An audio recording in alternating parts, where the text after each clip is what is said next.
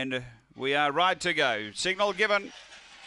Ready here at Mount Gambier. They're set to race. On their way. And speed off the inside. Glenville Kelly tackled by Smart Marty, who runs to the lead. Behind those, Bushman's Bro getting to third. Then Azumi Twister. Don's just under. Next is Ollie Aztec. And out the back, Extreme Jet with Lush Life. The front runner rolling here. Smart Marty out by three to the turn from Azumi's uh, Twister. Then Bushman's Bro straightening. It's clear. Smart Marty down the running. And down to the wire. Smart Marty uh, beats Azumi Twister second. Third, Don's just under. Then Bushman's Bro. Extreme Jet, Glenville Kelly. Lush Life and Ollie Aztec. The run here is around 23 and 20. Race 10. And uh, Smart Marty, too good here, was able to get over, find the lead, and Tracy Price with a treble today. T Price for T Haynes, A Haynes, P Haynes. A Blue Brindle Dog, September 2016. Knocka Norris, who's doing what? Number six, the winner.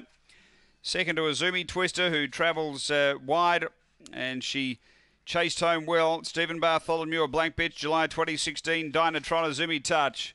And third, we stand by. I think Don's just under will get it. It does. Number three, Noel Carthew.